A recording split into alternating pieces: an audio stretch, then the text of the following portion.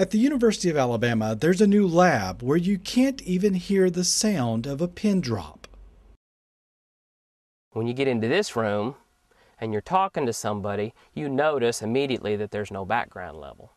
But when you stay in here for an extended period, even five minutes or longer, your mind starts going, okay, where's all that background noise that I'm used to processing? It's not there. What am I supposed to be doing? Dr. Steve Shepard is talking about UA's new hemianechoic chamber, a soundproof room where researchers can take acoustic measurements without having to worry about the effects of echoes or outside noise.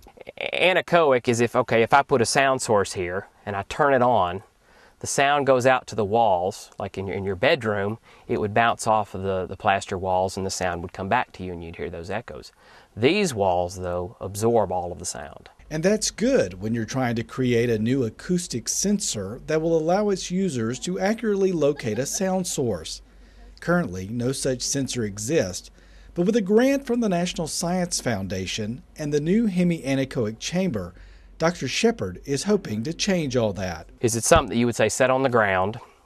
You would start using it and it would sit there and monitor acoustic signals.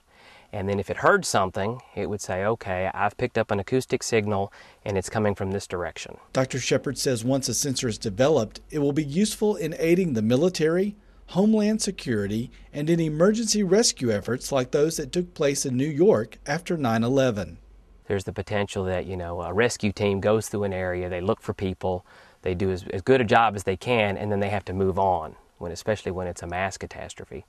Well, suppose they had a sensor that they could leave behind that would sit there and just listen. And then it would say, Oh, I heard something, and it came from that direction. Well, then when the rescue teams come back, oh, well, we picked up a signal, and not only did we pick up a signal in this area, we know it came from over here. Let's go concentrate our efforts over here. So that's kind of a, a, dream application of what we have and one of the things that motivates us in, in de- developing this sensor. And while the new acoustic sensor may still be years away, it wouldn't be possible at all without UA's new quiet room. I'm Shane Dorrell reporting.